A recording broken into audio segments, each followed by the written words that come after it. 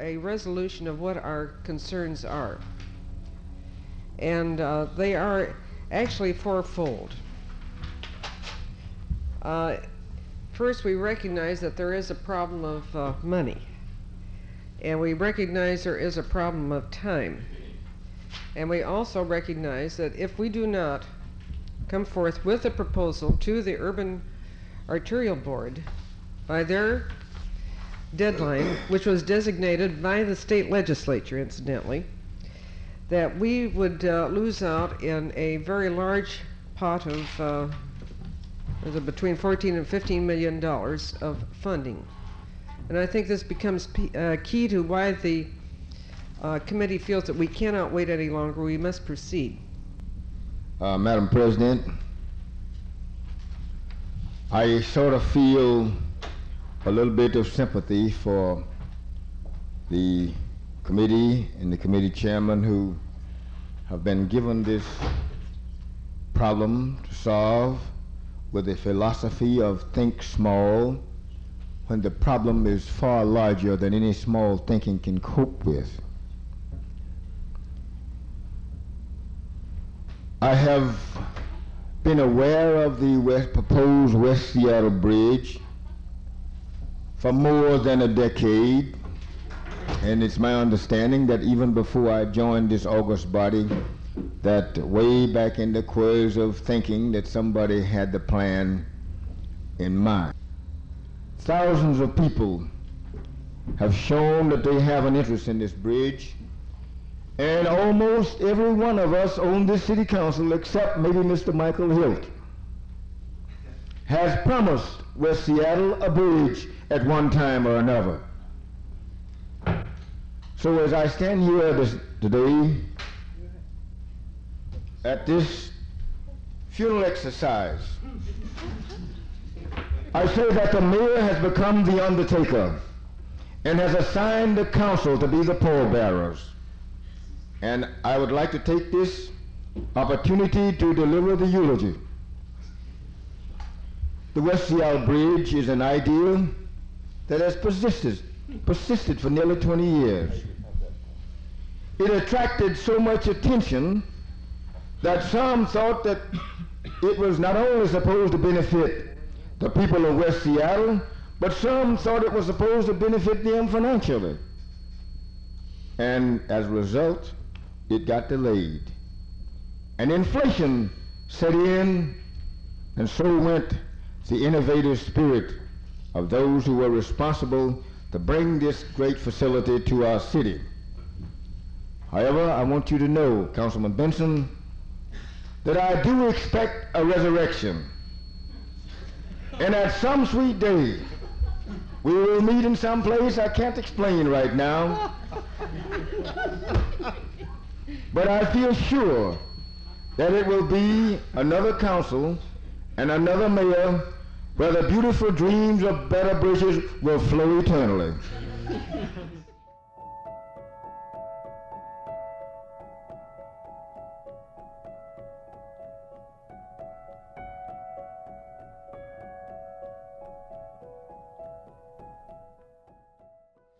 I'm going to call the Transportation Committee to order now.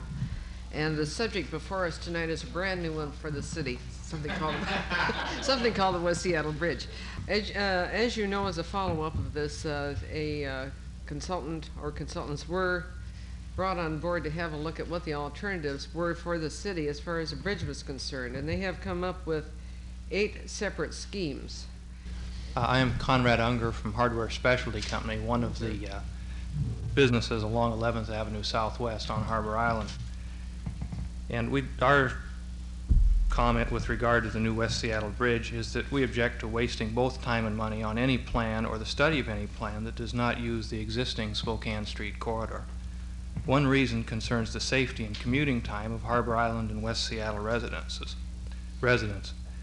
We have already had some bad experiences with curved bridges and approaches. The curves on the floating bridge are a particularly good example or bad example with their costs in both lives and commuting time. Uh, this is my second appearance before these hearings. The one in West Seattle was the other one. I uh, was the unfortunate one to build a bridge that got damaged and I was engineer on the upstream bridge for the city engineer's office. Uh, uh, also the contractor on Montlake Bridge, and my father built East Lake Bridge during World War One.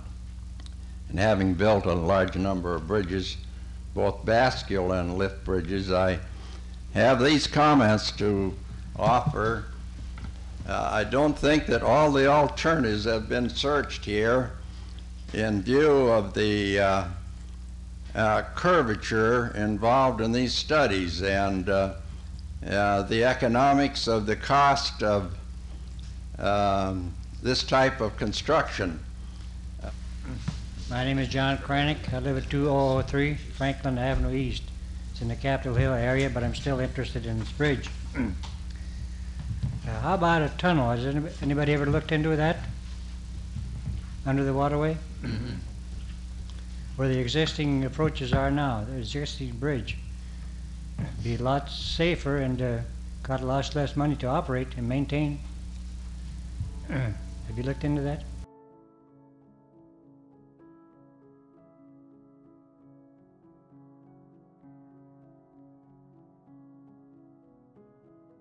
Uh, Madam Chairman, uh, first of all, let me heartily congratulate you on the extraordinary yeoman's work you've been doing in trying to bring a package together. And uh, from all I've been able to determine, you are achieving the unachievable, and you should be properly lauded for that effort and that effectiveness. Second thing is that um, nobody, whether it's Port County, uh, state, are going to really step out front and make a commitment till after the city of Seattle has made it commitment that here's the way we are willing to go. And I think the time now is for the city to make its commitment that here's the way we want to go, and then I feel sure that from all I've learned that at least two of those entities you mentioned will follow suit. But nobody should get out in front of us, and I think you've got the concept together, and I think we ought to authorize you to go ahead and get it into resolution form and bring it to the city council on Monday for us to say to the world, this is what we want to build, this is what we'd like to build, and we're committed to that. So we're ta- are talking a high-level bridge. Yes. And I, uh, hear everybody at the table saying the same thing. Um, my, my reasoning follows everybody else's here. I, I, we're talking to something that's so long-range, so final, that we have to be sure that we have the, the best decision made that we can. Uh, I would like to see a resolution in support of the high-level bridge. Uh, I would like to put a uh, time constraint on it though too, because I uh, share the uh, feeling of responsibility that if something starts falling apart, that we are able not to uh, deter our actions. Uh, If you'll allow me the latitude of uh, uh, talking at the state level, which I'll be doing this afternoon, I will be a lot better able to address that. So if you could leave that, I'm talking potentially maybe a week or two. But it, that's the one latitude I'd like to have. As I say, my days are backwards, unfortunately. If I was able to meet yesterday instead of today, this afternoon, I'd been able to do a better assessment of time. Uh, with the other two agencies, I, uh, I feel that they will act uh, quite uh, expeditiously. Um, so why don't we, uh, instead of getting the details now, we've gotten into a lot of uh, problems that have been raised. I think they have to be addressed, answered, and uh, sorted out. But I, perhaps the best thing we can do is come forth with a, uh, a rather simple resolution for Monday in support of a high-level bridge with some caveats attached to it. Probably, and then we'll serve ourselves better. And then we can identify the uh, difficulties and address them one at a time. So, uh, if somebody'd like to. We'll have to, we'll have to set up special meetings, and I think what we'll do is, uh, uh, put out public notice so that everybody's aware what we're meeting and how we're. Resolution uh, leaves some room to explore maybe 120 feet. Yes. I think we'll ask staff to prepare a, a very general resolution, so that'll allow us latitude to move within it.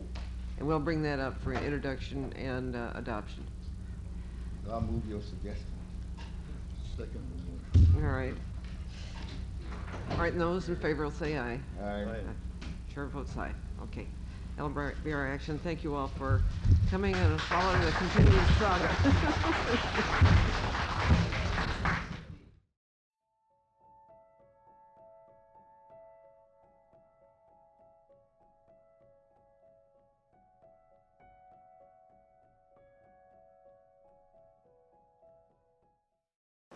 We're celebrating the skill and the dedication of our city employees and contractors. We're celebrating the spirit of community involvement reflected in all the groups that are here today. And most of all, we're celebrating the spirit of innovation in this city because this is the first bridge of its kind anywhere in the world. Obviously, there are a lot of people involved in making this bridge a reality. Those that are here and all of you who are out in front of me. But I'd like to just name a couple of them I think who deserve a lot of credit. Most of all, my former colleague, Jeanette Williams. Uh, This is a very special bridge, of course, and this is a very special day, of course. Uh, I think what is really so tremendous about this particular bridge is that uh, if you compare it to this one up here, this is almost a, a, a breeze to see that one built as compared to what we are facing with this very unique structure here today. And uh, the thanks goes to the engineering department and all the consultants that did work so long and so hard and so successfully to get everything done on schedule and uh, under budget. And it, so was the story of this bridge all the way through from the very beginning.